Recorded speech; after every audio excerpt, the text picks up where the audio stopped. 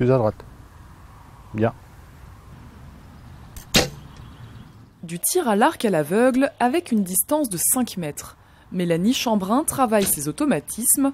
Objectif de cet exercice, avoir l'exécution parfaite en insistant sur les détails. Je veux que tu pousses bien là, tu tires bien avec les omoplates et qu'ici ça soit bien en contact et que ça dégage bien derrière.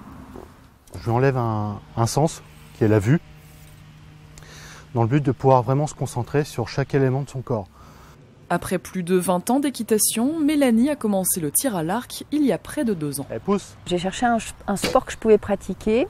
J'avais un petit peu essayé le tir à l'arc, mais sans plus, il y a, il y a quelques années euh, auparavant. Ça m'avait bien plu. J'ai un petit peu regardé. Je me suis dit, il y a un club pas loin, je vais m'inscrire. Et, euh, et ça m'a plu. Fréquence de l'entraînement 4 à 5 fois par semaine avec son coach Cyril. Au programme, technique de tir, répétition du geste, notamment sur la distance olympique à 70 mètres, et toujours le souci de la précision. C'est une sacrée compétitrice et qui en veut et qui en redemande. Même quand ça marche, elle va vous dire non, ça marche pas, c'est pas assez bien, et ça on peut pas lui en vouloir. Cette persévérance a permis à Mélanie de décrocher le titre de championne départementale de tir à 50 mètres et la médaille d'argent de tir à 70 mètres. Aujourd'hui, elle travaille d'arrache-pied pour le championnat de France prévu les 25 et 26 juillet prochains. Donc il faut que quand on lève l'arc, l'œil ton qui est ici, vous avez un point rouge.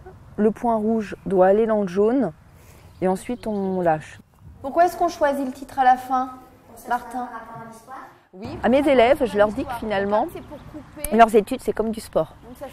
Euh, je sais bien qu'en français, hein, on, on, est bien d'accord, les exercices de grammaire et de conjugaison, personne n'a envie de les faire. Mais il faut, il faut, faut passer par là.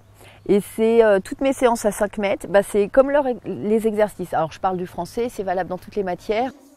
Quand Mélanie n'encoche pas ses flèches, elle fait découvrir son autre passion aux plus jeunes, l'écriture. Écrivain et professeur de français dans un collège, elle intervient aussi dans des écoles primaires durant les temps d'activité périscolaire.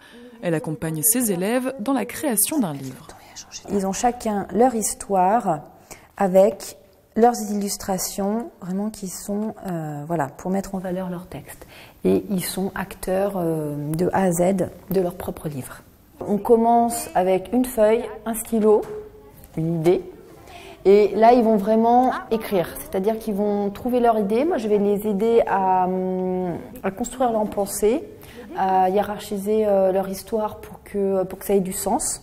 J'écris pour les enfants, mais ça m'intéressait de partager avec eux à la fois les histoires, la passion et leur donner l'opportunité de le faire eux-mêmes. Depuis 4 ans, elle a écrit 10 livres pour enfants, 3 livres sur l'équitation. D'autres sont des premières lectures ou encore une enquête se déroulant à Royan.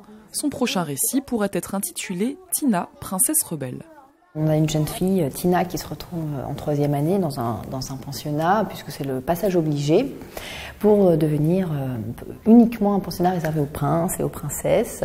Sauf qu'elle, elle aimerait bien être ailleurs. La sortie de cet ouvrage est prévue pour septembre 2018, avec comme cible les 9-12 ans.